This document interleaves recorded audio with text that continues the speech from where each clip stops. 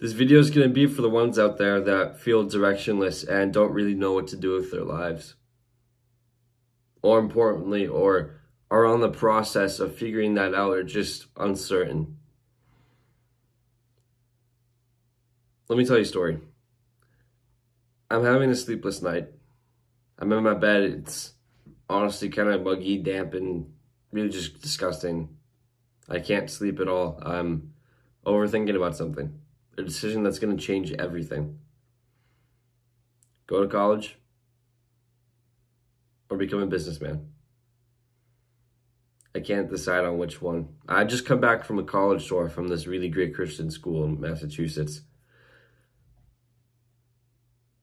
And I actually really wanted to go.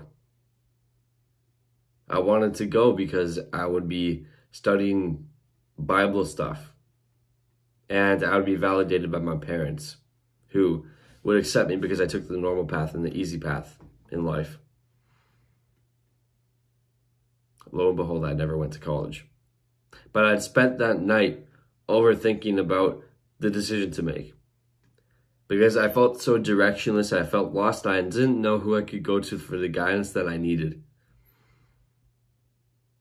I was looking for answers, but I just didn't know where to look, so I was just projecting it all into the universe. And because of that, I can sleep. I spent the next morning trying to decide then when my parents were asking me whether I wanted to go.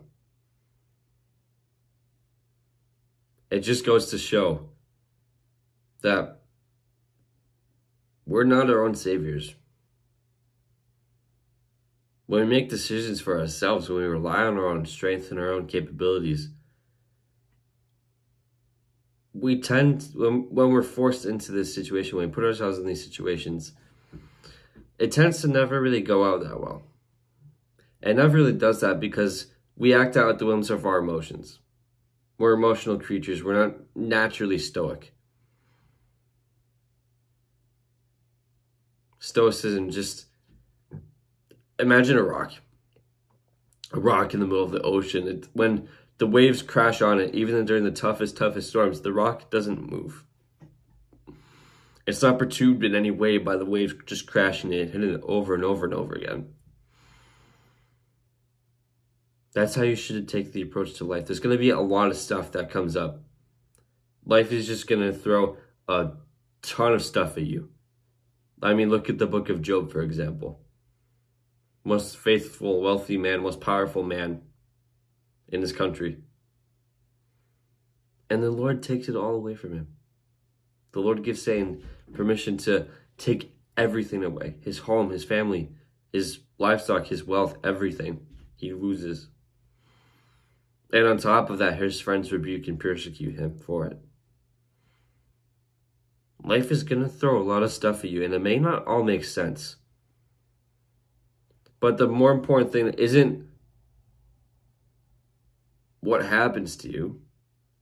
The more important thing to consider is how you respond. Are you going to just let life hit you in the face? Are you going to roll the punches? Are you going to fight back? Because the choice is on you.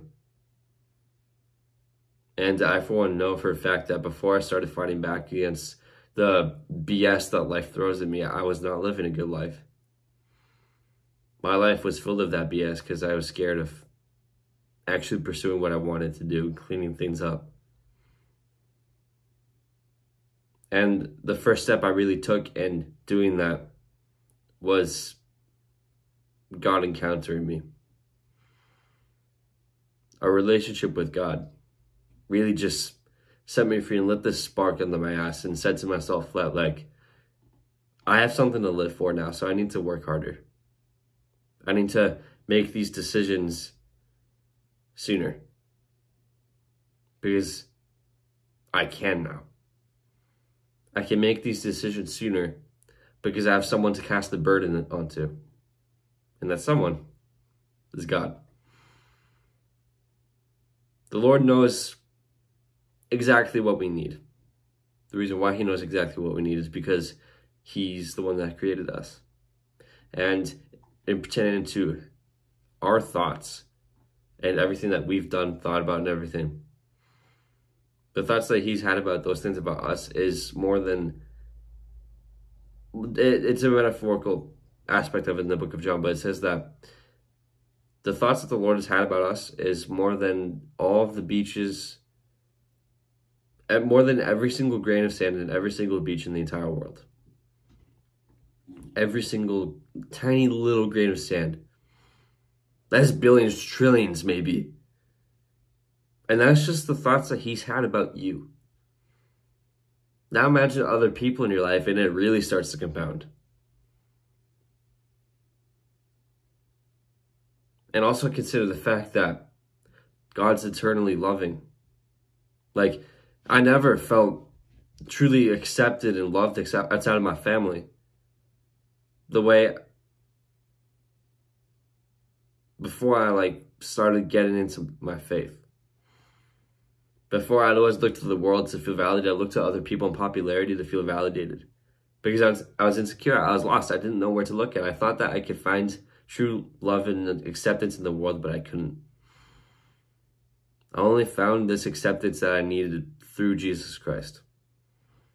Because Jesus, He's not going to look at you for what you've done, for who you are, for how your makeup looks, whether or not you have a pimple right here on your, in between your eyebrows, and say to you, you're not worthy.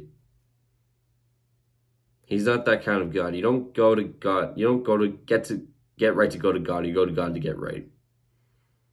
Let me say that again. You don't get right to go to God. You go to God to get right. Everything else in the world, you have to be some some way first. You want to be like the popular kids in high school. You got to be attractive. You got to drive. You got to like do all this stuff. You have to fit into that mold. And well, that's not necessarily a bad thing, but this mold, that mold might not be your mold. That might not be your crowd. So what's the best thing to do? The best thing to do is give it to God. Let God answer the question for you. Go through these trials and tribulations of figuring it out, yes, but the caveat to that is you don't shoot yourself in the foot by just pulling yourself in every which way. Because you've got God on your side who's going to guide you in the right direction now.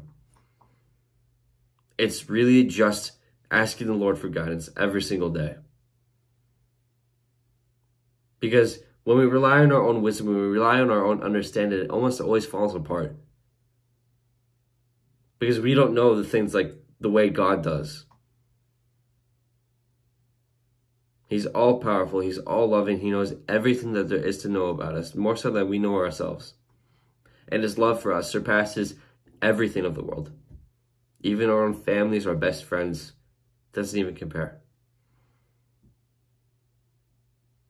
God loves you so much more than to let you just go about the whims of your emotions and be just directionless in life. But the caveat to that is you're responsible for taking that first step and putting that trust in Him. And taking it from someone who used to be so skeptical and have so many doubts about this stuff, and now and has now given had given it a shot, and whose life now has completely changed for the better.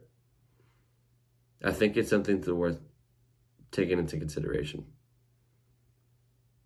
My name's Evan Cole. I'm just some kid that's in love with Jesus, and I hope that me sharing a little bit about the gospel here and towards your goals, towards self improvement, done the right way through Christ, has helped you and has given you value.